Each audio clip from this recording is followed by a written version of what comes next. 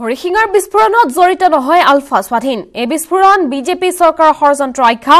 সংবাদ মাধ্যমলৈ বিবৃতি যোগে এই দাবী বিদ্ৰোহী সংগঠনটোৰ। শনিবাৰে সন্ধিয়া কামাখ্যা ডেকাৰগাঁও ইণ্টাৰচিটি ৰেলত সংঘটিত হৈছিল বিস্ফোৰণৰ ঘটনা। আহত হৈছিল দুজনকৈ লোক আৰু এই ঘটনাৰ পিছতে এই বিস্ফোৰণত বিদ্ৰোহী সংগঠন আলফা স্বাধীন জড়িত থকাৰ সন্দেহ কৰা হৈছিল। ইয়াৰ পাছতে স্পষ্টীকৰণ দিছে বিদ্ৰোহী সংগঠনটোৱে।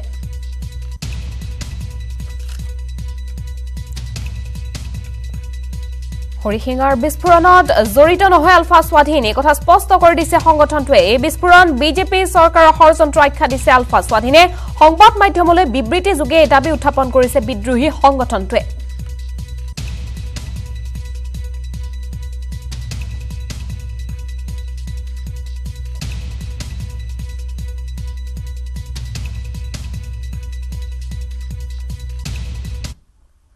সদৌ নাৰ্ছ সন্থাই আন্দোলনেৰে ৰাজ্যৰ স্বাস্থ্য সেৱা স্তব্ধ কৰি তোলাৰ সময়তে মাজনিশা নাৰ্ছৰ নিযুক্তি। খানাপাৰাত মাজনিশা দুই বজালৈ চলিল নাৰ্ছৰ নিযুক্তি প্ৰক্ৰিয়া। এন এইচ এমৰ অধীনত চৰকাৰে একাংশ নাৰ্ছক প্ৰদান কৰিলে নিযুক্তি পত্ৰ শনিবাৰে পুৱাৰ পৰা আৰম্ভ হৈছিল নাৰ্ছৰ ইণ্টাৰভিউ।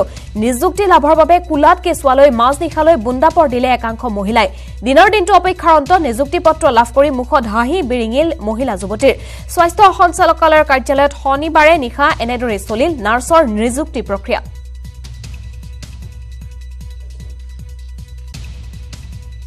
মোৰ মিছেছে জি এন এম চিষ্টাৰ কেইটাবা মানে আমি আহিছোঁ সেই মৰ্ণিঙতে আপোনাৰ চাৰে দহটাৰ পৰা এতিয়ালৈকে ৰৈ আছোঁ। এতিয়ালৈকে সেই অপেক্ষাতে আছোঁ এপইণ্টমেণ্ট পাম।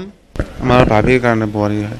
মই আহিছোঁ ৰাতিপুৱা আঠটাত বৰপেটাৰ পৰা আহিছোঁ হাউলি। উম, বৰপেটা হাউলিৰ পৰা। আমি ৰাতিপুৱা আঠটাৰ পৰাই আছোঁ ইয়াত। মোৰ মিছেছ আছে। আমি শিৱসাগৰৰ পৰা আহিছোঁ তেওঁলোকে ছিষ্টেমত হোৱা নাই বস্তুটো মানে। ছিষ্টেমত নিদিয়াৰ কাৰণে আমাৰ আগত আহিও পিছত পৰিলে পিছত হোৱা আগতে পৰিলে। আমি দুই মানুহ ইমান দেৰি ৰখি আছোঁ। এতিয়াতো আপোনাৰ এটা বাজিবলৈ হ'ল আৰু। আমিতো ৰাতিপুৱাৰ পৰা ৰৈ আছোঁ। অঁ হৈ গ'ল এতিয়া হৈ গ'ল। কি মা মোৰ লগত চাৰে পৰা আছোঁ। জইনিং তিনি তাৰিখে পৰা। ভাল লাগিছে। পঞ্চায়ত নিৰ্বাচনৰ দিন চমু চাপি অহাৰ লগে লগে তুংগত উঠিছে মিত্ৰদল অগপ আৰু বিজেপিৰ বাকযুদ্ধ।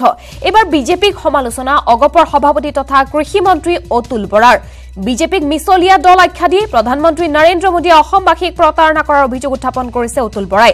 হিন্দু বাংলাদেশীক নাগৰিকত্ব প্ৰদানৰ বিৰুদ্ধে শেষ মুহূৰ্তলৈকে যুঁজি যোৱাৰ হুংকাৰ প্ৰদান কৰিছে অগপৰ সভাপতিগৰাকীয়ে।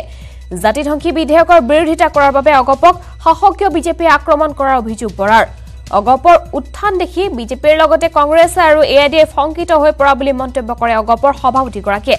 আনহাতে অগপৰ শাসনকালত এজনো বিদেশীক খেদিব নোৱাৰাৰ কথাও স্বীকাৰ কৰিলে অতুল বৰাই। টিভিটো ৰাতিপুৱা খুলিলে দেখো যে ভাৰতীয় জনতা পাৰ্টীয়ে আমাক হকে বিহকে গালি পৰা আৰম্ভ কৰিছে।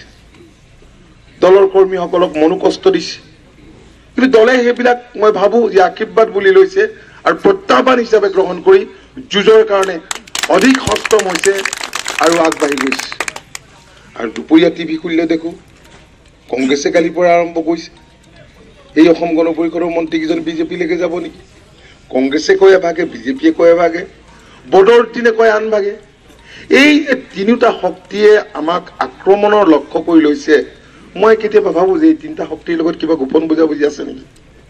আমাৰ ক'ত গোপন বুজাবুজি আছে? গোপন বুলিবলৈ আমাৰ কি আছে? আৰু মই ভাবিছিলো নিৰ্বাচনৰ প্ৰাক মুহূৰ্তত। হয় আমি অকলে নিৰ্বাচন খেলিছো। পঞ্চায়ত নিৰ্বাচনটো একেবাৰে লোকেল আৰু পঞ্চায়ত নিৰ্বাচন অকলে খেলিম বুলি ভাৰতীয় জনতা পাৰ্টীৰ ৰাজ্যিক সভাপতিগৰাকীয়ে চিঞৰি চিঞৰি টেটু ফালি ফালি কৈ ফুৰিছিল। দুবছৰ আগৰ পৰা কৈ ফুৰিছিল তাৰপিছত আমি ক'ম নেকি? যে নহয় তেখেতসকলে অকলে খেলিব বিচাৰিলো। আমি যেনে তেনে নেগুৰতে ধৰিম আজি কোনোবাই কোনোবাই ভাৰতীয় জনতা পাৰ্টীৰ নেতাই কৈছে যে তেওঁলোকে আমাক বুকুচাত লৈ গৈছিল। আমি আমি এই কথা তেওঁলোকক কওঁ যে তোমালোকেও আমাক বুকুচাত উঠাই নিয়া নাই আৰু আমিও তোমালোকক বুকুচাত উঠাই লোৱা নাই। বুকুচাত কোনেও কাকো উঠাব নোৱাৰে কোনো পাৰ্টীয়ে ইটো সিটো। বুকুচাত অসমৰ ৰাইজে উঠায়। আৰু যেতিয়া ৰাইজে দেখিব যে নাহাই বুকুচাৰ পৰা পেলোৱাৰ প্ৰয়োজন হৈছে বুকুচাৰ পৰা পেলাই দিব।